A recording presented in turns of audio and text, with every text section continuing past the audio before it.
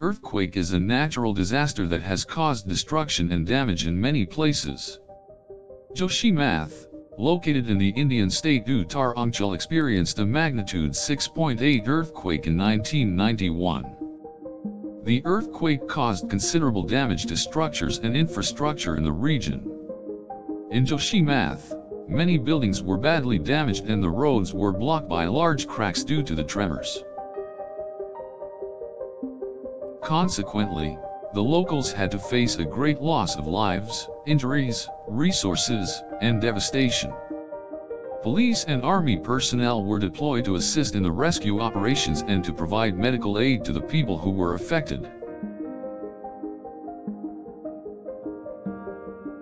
In Joshimath, relief camps were established to provide shelter to the homeless people and those with serious injuries. The Indian government also announced emergency relief funds and ration for the affected families.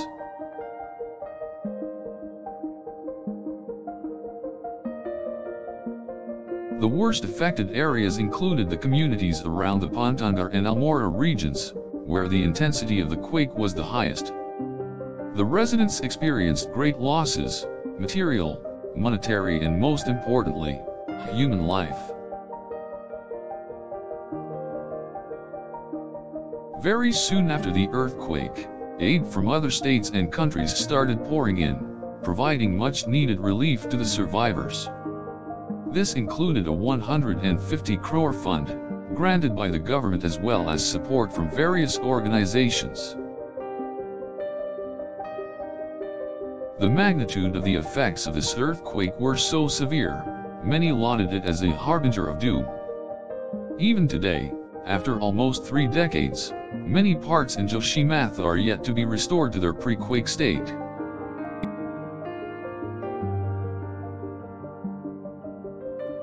Over the years, the government has taken many initiatives to protect the people of Joshimath from future seismic activities.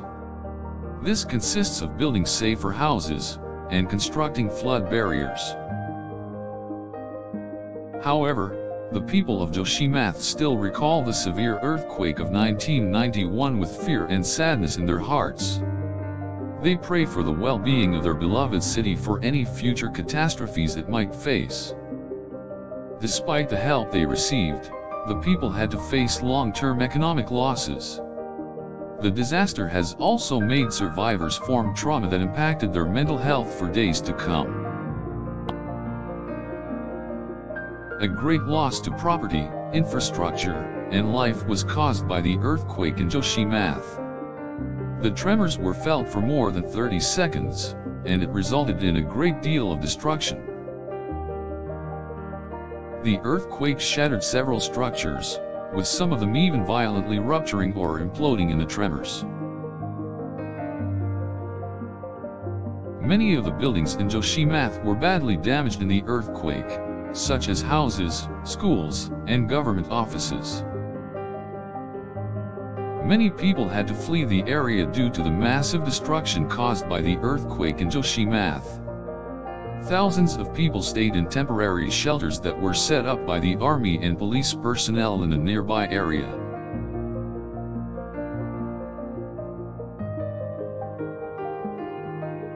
The survivors faced great difficulty as they had to bear the aftermath of the earthquake.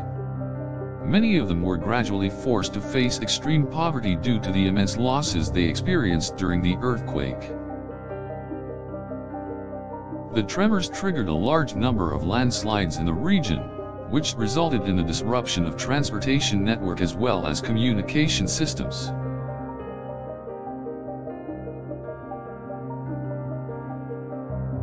The survivors were also shocked to see the change of topography due to the occurrence of huge rock slides.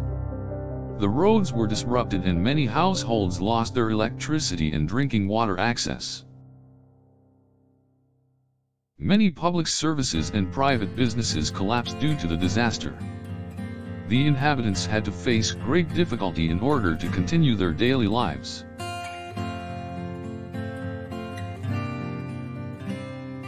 The epicenter of the earthquake was located very close to Joshimath and that resulted in shaky ground conditions. The shock waves damaged the buildings and slopes, threatening the safety of the inhabitants. A massive earthquake relief program was launched by the Indian government. People living in Joshimath who were affected by the earthquake were provided food, shelter, and other necessary items. The Indian government had to take various measures to address the needs of the affected people. They allocated funds for medical aid, organizing of shelters and reconstructing homes and workplaces that were damaged in the earthquake.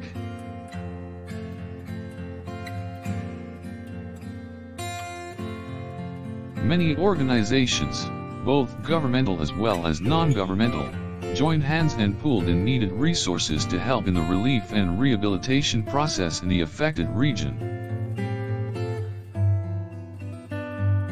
The aftermath of the earthquake saw a major upsurge in the prevalence of diseases such as malaria, cholera, and even smallpox. The irregularity in food and water supply further worsened the situation. As the tremors lasted for more than 30 seconds, it caused the area to experience continuous shaking. This eventually weakened the foundations of buildings, landslides, and also weakened the slopes. A major disruption was caused in electricity and communication networks, thus making communication and transportation very limited.